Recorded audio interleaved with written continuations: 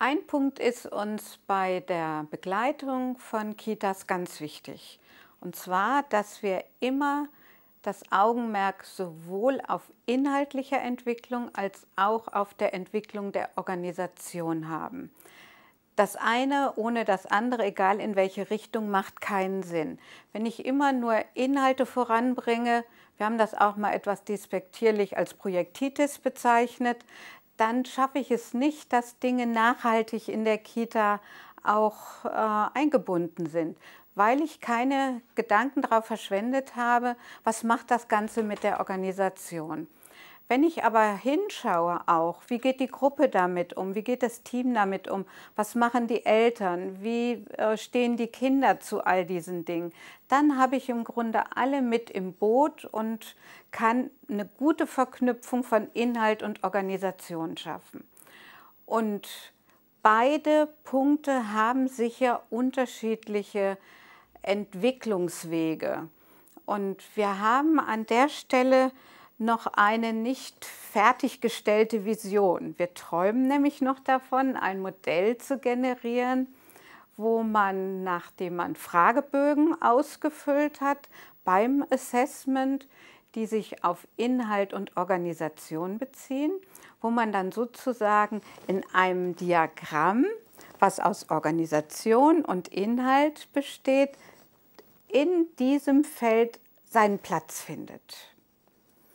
Und dann wäre der Wunsch, dass wir so viel Informationen haben sammeln können, dass wir der Kita, die jetzt an diesem Platz X steht, sagen können, wenn du da oben in dieses nächste Feld kommen möchtest, dann ist es nach allem, was wir wissen, ganz klug, die und die Dinge auch bei deiner weiteren Entwicklung zu bedenken.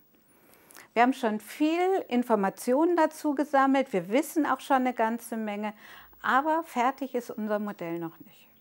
Wenn man sich heute anschaut, was die Aufträge der Kita sind, dann ist das natürlich neben äh, Bildung, Erziehung, Betreuung vor allem auch im Feld Gesundheit äh, unterwegs zu sein und das ernst zu nehmen.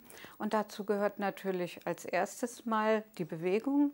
Dazu gehört natürlich auch Ernährung, um erstmal so bei klassischen Ressourcen zu bleiben.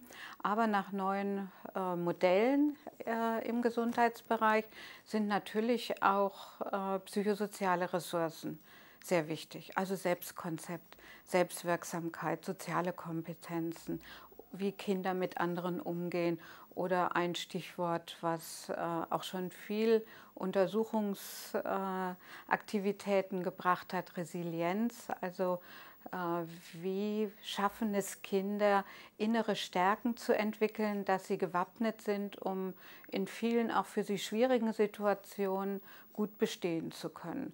Und das ist schon eine wirkliche Herausforderung auch wieder für Kitas, diese Ziele äh, anzusteuern.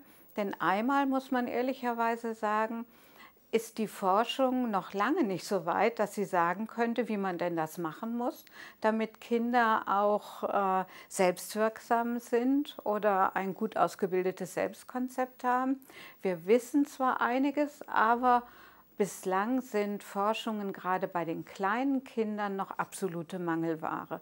Und wir gehen oft hin und übertragen die Erkenntnisse von Älteren auf die jungen Kinder und hoffen, dass das da ähnlich funktioniert. Aber ob es tatsächlich so ist, das werden wir noch alle nachweisen müssen.